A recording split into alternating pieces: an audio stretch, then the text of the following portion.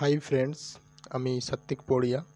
আমার এই পড়িয়াস Labtech YouTube চ্যানেলে তোমাদের স্বাগত জানাই। আমার এই ইউট- ইউটিউব চ্যানেলে তোমরা মেডিকেল সংক্রান্ত, অর্থাৎ মেডিকেল ল্যাব সংক্রান্ত ভিডিও পাবে। তো আজ আমরা এই এমএলটি বা মেডিকেল ল্যাব সম্বন্ধে আলোচনা করব। আসলে এমএলটি কি? এমএলটি হলো medical laboratory technology. It is a healthcare profession focused on performing laboratory tests and analysis on biological specimens such as blood, urine, and tissues. It plays a crucial role in diagnosis, treatment, and prevention of disease. অর্থাৎ medical laboratory টেকনোলজিতে আমরা সাধারণত দেহ তরল যেমন রক্ত মূত্র, কফ, স্টুল কোলাকোষ এসব নিয়ে পর্যবেক্ষণ করি এবং এটা একটা খুবই গুরুত্বপূর্ণ ভূমিকা পালন করে। কিসে? যেমন রোগ নির্ণয় করতে, সেটার চিকিৎসা এবং প্রতিকারের ক্ষেত্রে। এবং এই মেডিকেল ল্যাবরেটরি টেকনোলজিতে আমাদের টোটাল ল্যাব সংক্রান্ত বিষয় নিয়েই পর্যবেক্ষণ এবং সেটা সঠিকভাবে তার যে টেস্টগুলো পারফর্ম সেগুলো আমাদেরকেই করতে হবে। এবং সেখানে আমাদের কিছু দায়িত্ব বা রেসপন্সিবিলিটি রয়েছে সেগুলো একবার দেখে নেওয়া যাক। The responsibilities of a medical laboratory technologist include collecting samples, conducting tests using various instruments and equipments, analyzing the results and reporting findings to findings to physicians and other healthcare professionals.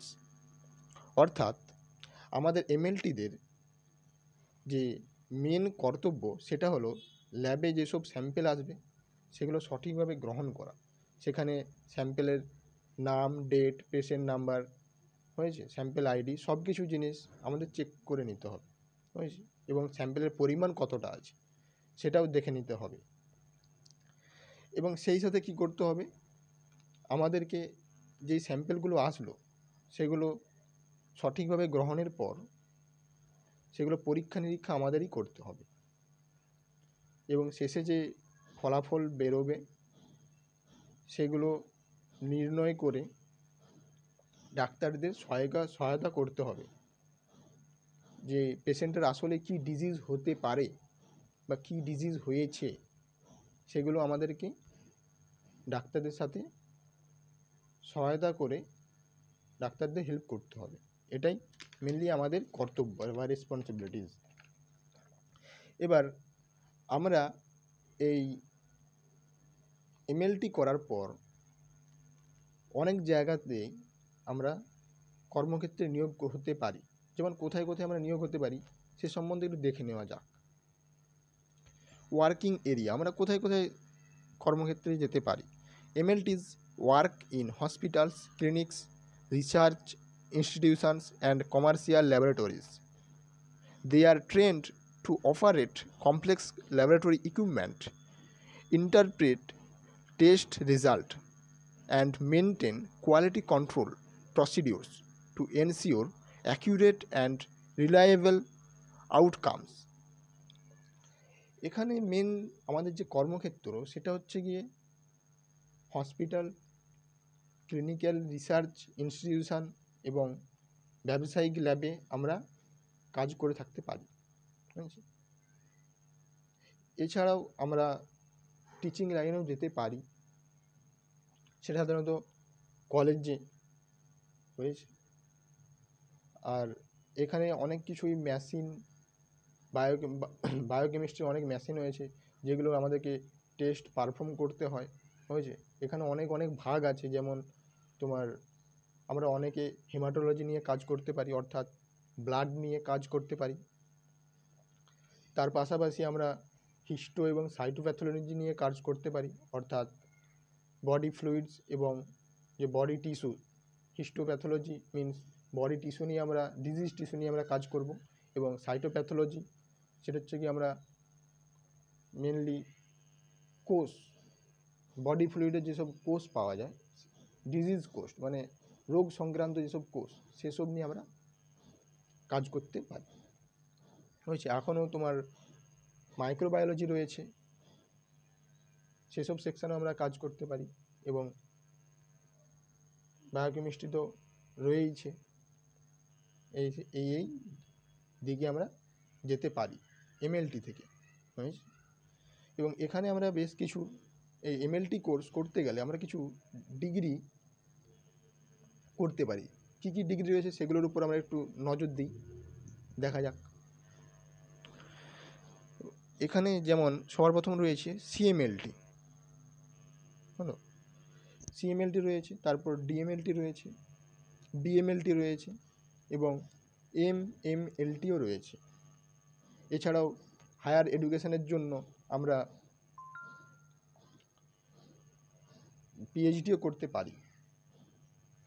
এখানে যেমন CMLT, DMLT, BMLT এবং MLT নিয়ে কিছুটা আলোচনা করা যাক। সিএমএলটি সিএমএলটি মূলত হলো একটা সার্টিফিকেট কোর্স। এর full form certificate in medical lab technology. এবং কোর্স ডিউরেশান ছ মাস থেকে এক বছর। এর মধ্যে আমরা কোর্সটা কমপ্লিট করতে পারি। এলিজিবিলিটি ক্রাইটেরিয়া কী কী রয়েছে দেখে নেওয়া যাক। Ten plus two with PCB অর্থাৎ ফিজিক্স, কেমিস্ট্রি অ্যান্ড বায়োলজি। ঠিক আছে? তো আমরা টেন প্লাস টুতে টুয়েলভে আমরা যদি ফিজিক্স, কেমিস্ট্রি, বায়োলজি নিয়ে যদি পড়াশোনা যদি করে থাকতে পারি, তো আমরা এতে অতি সহজেই অ্যাডমিশান নিতে পারি এই সিএমএলটি কোর্সে। এটা সাধারণত ছয় থেকে এক বছরের ছ মাস এবং এক বছরের মধ্যে কোর্সটা হয়ে থাকে। তা নেক্সট আমরা ডিএমএলটি নিয়ে দেখি। ডিএমএলটি এটি সাধারণত একটি ডিপ্লোমা কোর্স ফুল ফর্ম হচ্ছে গিয়ে তোমার diploma in medical lab technology এবং এটার কোর্স যে ডিউরেশন রয়েছে দু বছর এবং তার সাথে ছ মাস ইন্টার্নশিপ এলিজিবিলিটি ক্রাইটেরিয়া সেম আগের মতোই। Ten plus two with PCB, physics, chemistry, biology. এবং এর জন্য ডিএমএলটির জন্য একটা এক্সাম হয়ে থাকে, যেটা আমাদের সাধারণত ওয়েস্ট বেঙ্গলে হয়, সেটা হচ্ছে S M F WB state medical faculty of West Bengal. এই সংস্থা ডিএমএলটির জন্য এক্সাম করে থাকে। তো তোমরা চাইলেই পরীক্ষায় ক্র্যাক করে সেখানে তোমরা এই কোর্সে অ্যাডমিশান নিতে পারো। তারপরে রয়েছে বিএমএলটি বিএমএলটি এটা একটা bachelor course bachelor of medical lab technology এর কোর্স ডিউরেশান হচ্ছে তোমার three years with six month compulsory internship eligibility criteria ten plus two with PCB same আগের মতোই। কিন্তু এখানের যে বোর্ডের তোমরা আন্ডারে অ্যাডমিশান নেবে, সেটা হচ্ছে W B UHS West Bengal university of health science এবং এই West Bengal university of health science একটা পরীক্ষা কন্ডাক্ট করে, সেটার নাম হলো জেনফা জেনফাস তো তোমরা সেখানেও সেটার জন্য প্রিপারেশান নিতে পারো এবং তারপরে এই বিএমএলটি কোর্সে তোমরাও অ্যাডমিশান নিতে পারো। এবং এরপরে যেটা রয়েছে এম এম এলটি এটা masters course masters in medical lab technology এর কোর্স ডিউরেশান টু ইয়ার্স এখানে ইন্টার্নশিপের সেরকম কোনো এ নেই। এলিজিবিলিটি ক্রাইটেরিয়া রয়েছে ব্যাচেলর ডিগ্রি থাকতে হবে এমএলটিতে তাহলেই তুমি এমএমএলটি করতে পারবে। হ্যাঁ এবং এখানে ব্যাচেলর ডিগ্রিতে করার সময় তোমার ফিফটি পার্সেন্ট ন্যূনতম মার্কস থাকতে হবে। এবং এটা একটা post graduate course semester wise হয়ে থাকে। আগের এই যে বিএমএলটির কথা বললাম বিএমএলটি বা বিএসসি এমএলটি এটাকে দুটোভাবে বলা যায়, কিন্তু কিছুটা ডিফারেন্স রয়েছে, সেটা বড় কথা নয়, কিন্তু মেন দুটোই একই রকম। তো এটাতে আমাদের West Bengal university of health science yearly exam করিয়ে থাকে এবং কলেজের ক্ষেত্রে ডিপেন্ড করে তারা একটা পার্টলিভাবে ইন্টারনাল এক্সাম নেয়।